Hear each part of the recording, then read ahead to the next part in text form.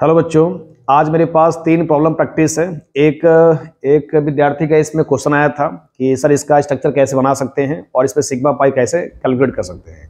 तो देखो, मैं इस वीडियो के माध्यम से ये तीनों क्वेश्चन को बहुत इजी वे में समझाने का प्रयास करता हूँ कि कैसे आप इसका स्ट्रक्चर बना सकते हो। तो बेटा, इसमें सिंपलेस्ट स्ट्रक्चर का फंडा ये होता है कि वैलेंस इलेक्ट्रॉन को आप सर्च करिए। अगर ये वैलेंस इलेक्ट्रॉन को आप पकड़ लेते हैं तो वैलेंस में जितना इलेक्ट्रॉन होगा, उतना ही वो मैक्सिमम बॉन्ड बना सकता है। और पीरियड दो वाले जो होते हैं वैलेंस में आठ इलेक्ट्रॉन को होल्ड कर सकते हैं। ओके? इसी ट्रिक को अपना करके स्ट्रक्चर को बनाने का प्रयास करते हैं। ओके? तो वैलेंस में जितना इलेक्ट्रॉन होगा, मैक्सिमम उतना ही बॉन्ड बना सकता है। तो देखो, कैसे इसका स्ट्रक्चर बनाओगे? तो सिंपलेस्ट मेरे पास बच्चे CO2 है।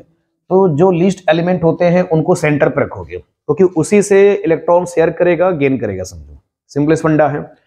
अब जरा देखो इसमें ऑक्सीजन है बच्चे, और ये ऑक्सीजन है। तो देखो अगर मैं इसमें ऑक्सीजन है कार्बन है ऑक्सीजन है, ये सिंपलेस्ट तरीका है।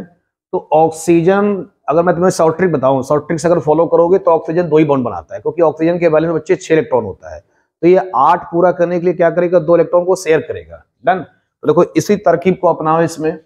तो इससे दो बॉन्ड बना सकते हो। इससे भी क्या बना सकते हो? दो बॉन्ड बना सकते हो।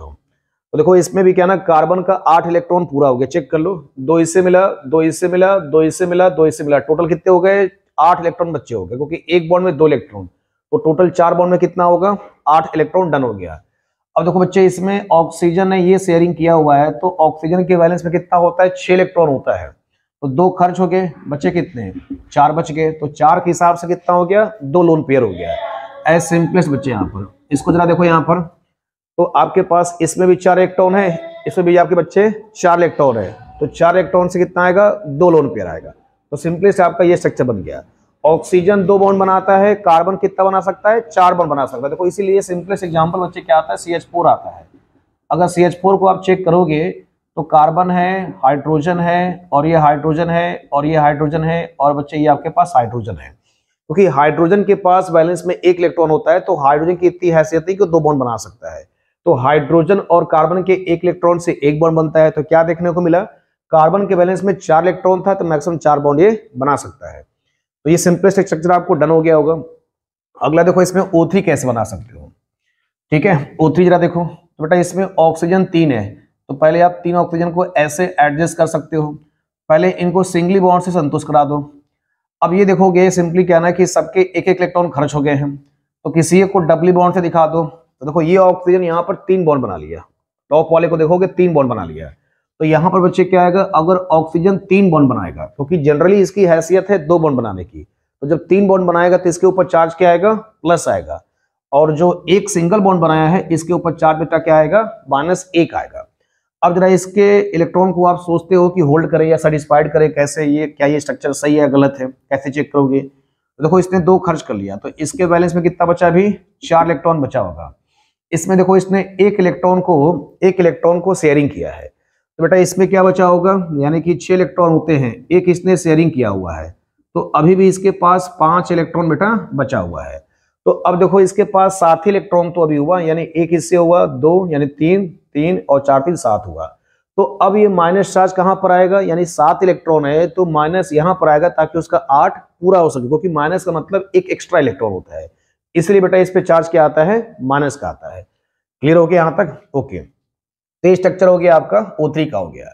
अब O3 में अगर स्ट्रक्चर देखोगे तो यहाँ पर क्या है ना कि एक रेजोनेंस का कॉन्सेप्ट भी आता है। और ये डबल बॉन्ड कभी इसके साथ भी हो सकता है, कभी इसके साथ भी हो सकता है। क्योंकि अगर यहाँ पर डबल बॉन्ड आ सकता है तो सिमिलरली यहाँ भी तो आ सकता है, क्योंकि ये ऑक्सीजन भी इक्विवेलेंट है। ओके तो बच्चा देखो यहाँ पर कुछ ऐसे आएगा। ओ ये ओ हो जाएगा, ये ओ हो जाएगा यहाँ पर प्लस और यहाँ पर माइनस और डबल बॉन्ड यहाँ पर आ जाएगा। इसलिए बेटा इसका इक्विवेलेंट रेजोनेटिंग स्ट्रक्चर यानी कि ये डबल बॉन्ड कभी इस वाले ऑक्सीजन के साथ है, कभी इस वाले के साथ है। इसलिए कभी कभी इसका रेजोनेटिंग स्ट्रक्चर स्ट्रक्चर कुछ आपको ऐसे दिखाएगा। यानी ये डबल बॉन्ड इस वाले ऑक्सीजन के भी साथ है और इस वाले ऑक्सीजन के भी साथ है, समझो। आज बेटा सी वाले एग्ज़ाम्पल पे।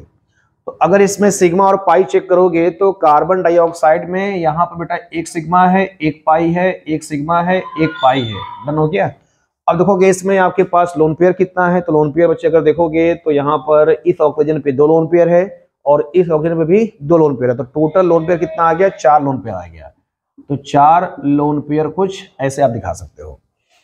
ओके, सिग्मा पाई की बात बोलोगे तो दो सिग्मा आ गया, दो पाई आ गया। डन अब जरा देखो सीओ कैसे बनाओगे? तो सी में और ऑक्सीजन को कैसे सेट करोगे?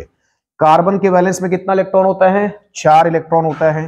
तो पहले आप दो दो इलेक्ट्रॉन से, यानी कि आप यहाँ पर डबल बॉन्ड बना सकते हो।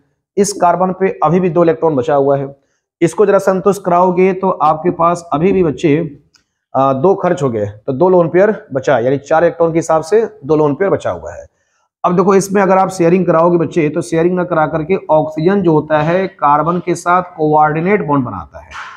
तो ये वाला आपका जो बॉन्ड होता है, तीसरा बॉन्ड जो होता है कोऑर्डिनेट बॉन्ड होता है।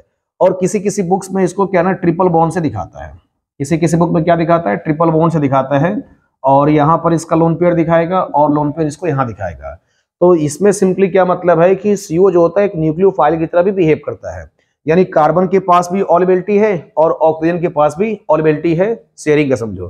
तो ये आप में सिंपली कहना, जो तीसरा बॉन्ड होता है, ये एक्चुअल में कोऑर्डिनेट बॉन्ड होता है और किसी किसी बुक्स में इसको कहना ऐसे दिखाता है। तो बेटा, ये आपका कंप्लीट ओवरऑल स्ट्रक्चर हो गया, काफ़ी अच्छे क्वेश्चन थे। आई होप कि ये वीडियो आपसे काफ़ी आप संतुष्ट होंगे। फिर भी अगर आपको डाउट्स है तो मेरे को आप पर्सनल व्हाट्सएप पे मैसेज कर सकते हैं। ओके